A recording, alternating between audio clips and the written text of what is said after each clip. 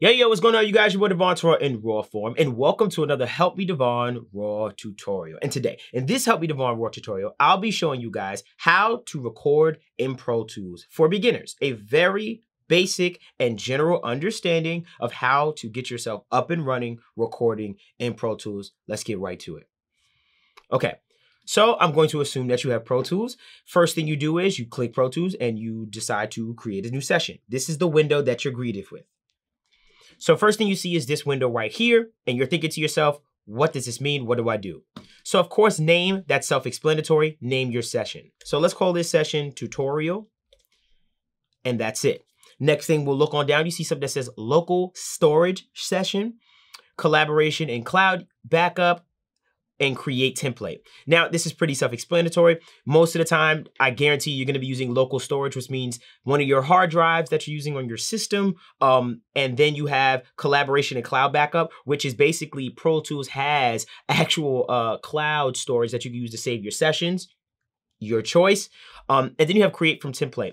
Uh, now, create from template, say for instance, you work and you know your workflow, and you know the amount of tracks you're gonna use and all of these things, you can literally save them as templates and Pro Tools will know, hey, you want me to use that template that we used before? And it'll create it right there for you. Now, I have templates at helpmedevvon.info and you can go in the description right now and download one if you want, but you can use my templates and create your own from there. Nonetheless, just letting you know. Okay, now, let's say first we're just going to use local storage. Our name of our session is going to be tutorial. Our file type, highly recommend WAV files. So I'm going to leave it at WAV.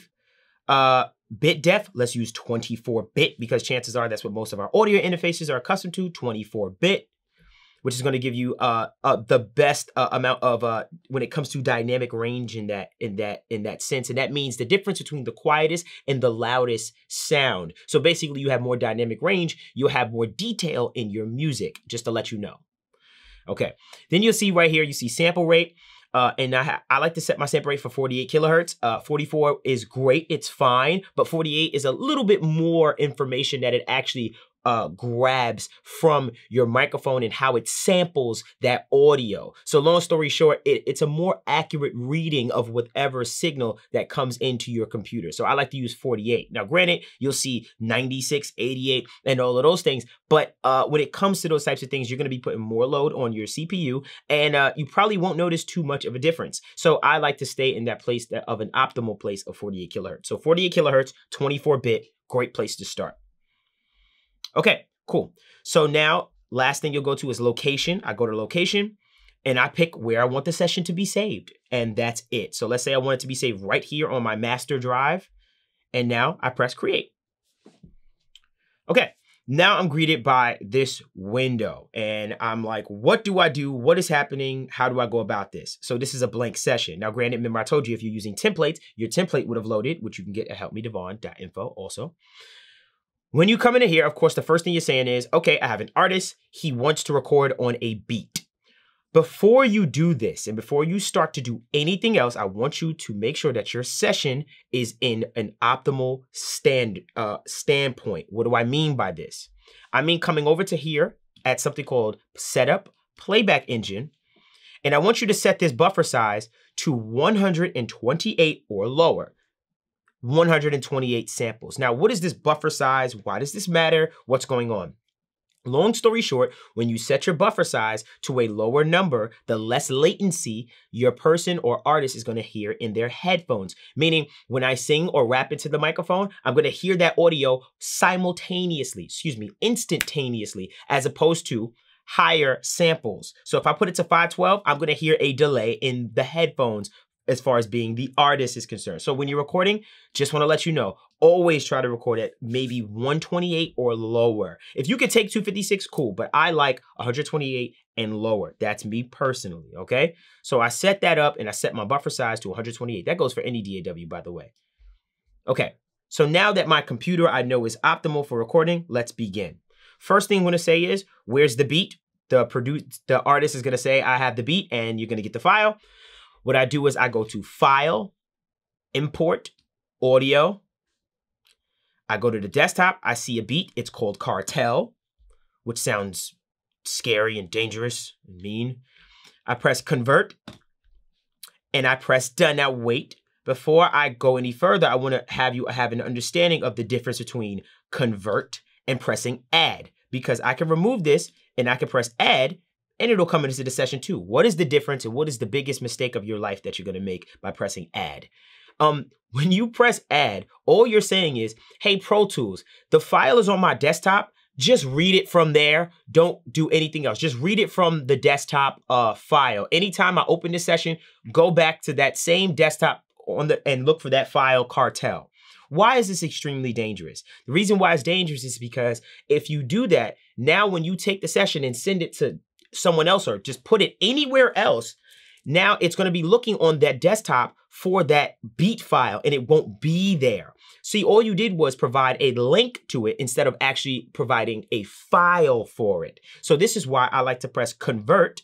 And the only reason I like to press convert is because it makes a copy of that file takes it and puts it in the audio file folder where it will sit with the session forever. So you'll never lose it. So I like to take it so it makes copies of the file. So sometimes this will be copy. Right now for us is convert because it's a different uh, format uh, from what the session is. Press convert or copy. Don't press add. That's me personally. If you want to do that dangerous walk uh, on that plank, by all means, go ahead.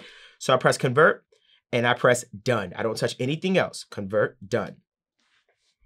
This window will pop up. All this is asking you is, hey, is this the correct folder that you want us to put this copy of this file in? Yes, and this is pointing to the audio files folder that's accompanied, accompanied by the actual session. So do not press desktop. Do not put this anywhere else. You will mess this up. Do not change this place. You see this place where it is? Tutorial audio files, that's where it belongs. So you make sure it stays there. I'm telling you this because I know people that mess this up all the time. This is a beginner's mistake. Okay, open. Right now, it's converting the audio into 24-bit uh, wave 48 kilohertz that our session is, so it's all optimal. Okay, you see this? You see new track or clip list. All the, the differences between these two things is if you were to select clip list, it's gonna put it in the Regions file folder or uh, window, and basically it's gonna you're gonna have to drag it over to the actual track. So this is only if you say, hey, I don't want it to be in my uh, edit window as far as in the timeline of audio, but just put it right there in my storage bin so I can see it. I'll show you both. So let's say, for instance, I say clip list. I press OK. And you see that thing that says clips right here? It's right there, but it's not in the session. And it's just an option if you don't want to see it yet, but you just want to have it stored there. But if you click new track, what will happen is it will literally just create a new track, boom, just like that. It's very simple, and that's basically what happens.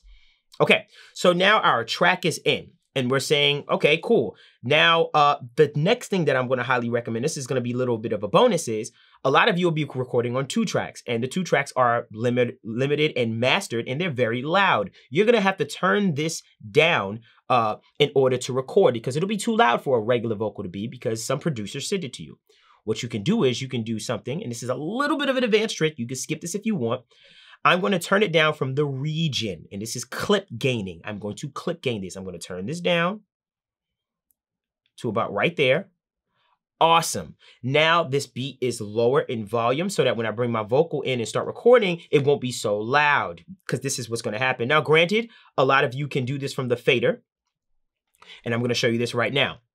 So this is known as your edit window. And the reason why it's known as your edit window is because you can come over here and edit things. I can chop this off and chop this off and edit and make all kinds of snips and things of that nature.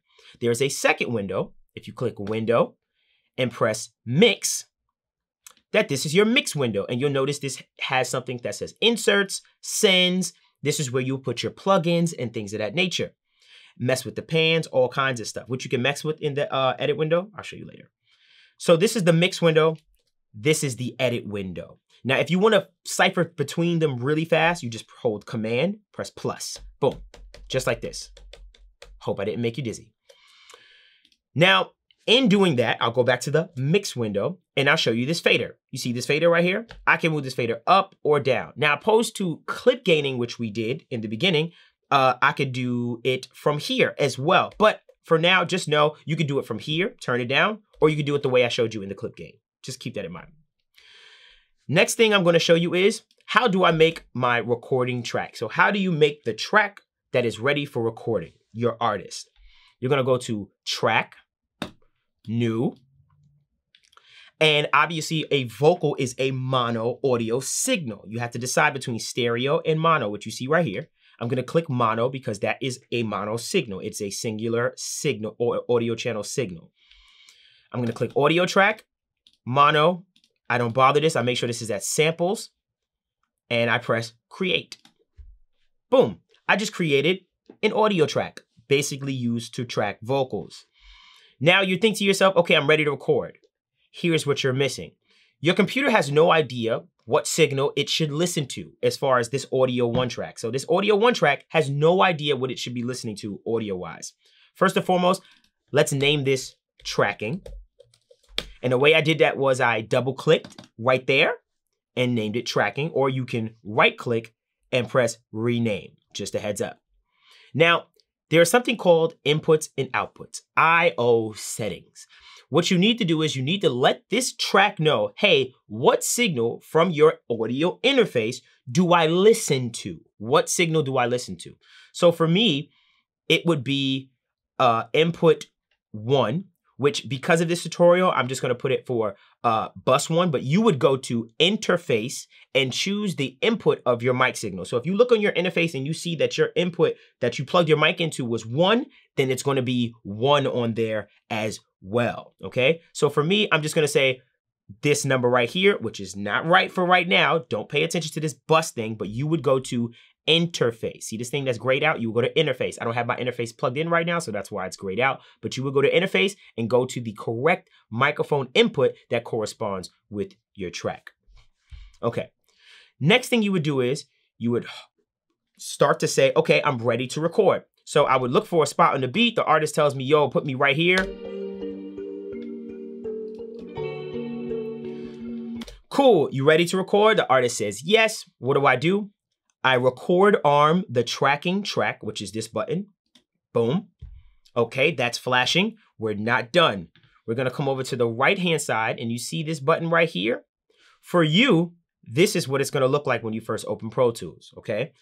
You click this and you press record or you press spacebar. So now that you have this flashing and this flashing, you're ready to record. Watch this.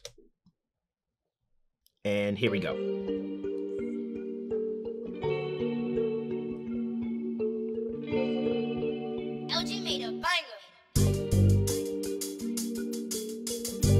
Okay, so that was the artist. The artist was recording, and we have signal coming into the track. And that's basically how we get to thing to start to record. Now, something I'm gonna show you just to make sure you don't make a mistake is this. I want you guys to always use quick punch mode. Why do I want you guys to use quick punch mode? And the way I did it was I right click on the record button over here and I engage quick punch. Now, why do I use quick punch? I like to use quick punch because quick punch allows you to do exactly that. It allows you to punch in and out for vocals. So say for instance, we like half of the performance of the singer or rapper and they say, hey, I just wanna fix that one part on the end. Beautiful thing about quick punch mode is it'll allow you to do so. So watch this. As soon as I press this, it's in quick punch mode. It'll literally just punch in from where I choose it to do and leave the audio behind it alone so that we have a concise vocal that makes sense. Look at this closely. Here we go. LG made a banger.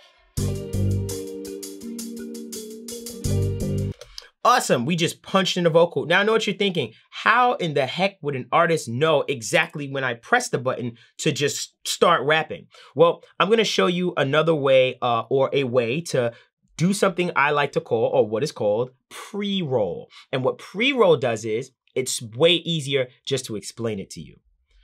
So let's say, hey, I want a one bar of pre-roll before that comes in. So when the artist says, yo, give me a little bit of time before uh, the punch is comes in so I can hear hear it properly or catch the beat, this is what this is. So what you do is you go right over to this top right here and you click pre-roll, okay? Pre-roll, and you choose how many bars you want the pre-roll to be. So for me, I said I want it to be one bar. So I clicked it, typed in one, here we go. So say for instance, he wants to do that punch we did just now over, this is what I do. So now watch this. I have a record, play.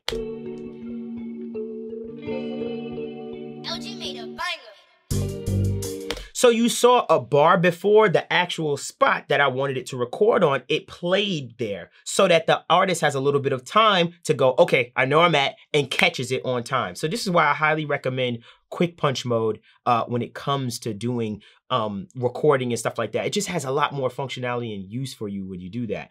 Uh, one thing I stay away from is destructive record. Uh, reason is because uh, because anytime you use it, whatever it was it records on top of, it deletes.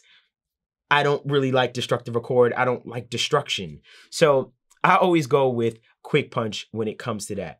And to be honest, you guys, that's a really basic understanding of how to record in Pro Tools, just simply to just get started and things of that nature. Uh, I hope this was helpful. I'll, I'll definitely add some more stuff. Tell me what you want to know uh, other than this below when it comes to Pro Tools. Make sure you comment, like, subscribe, follow us at Help Me Devvon on the Instagram. And if you have any comments, questions, or concerns, you can email me at helpmedevvon at gmail.com. Remember, I have my own templates that are personally created by myself and two of my other guys, L. Jean and Courtney Taylor, that you could download at helpmedevvon.info. The link is in the description below. And uh, until next time, you guys.